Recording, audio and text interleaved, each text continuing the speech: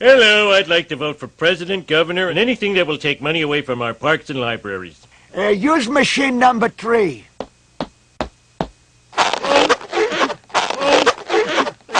Fit in the booth! Use the double wide.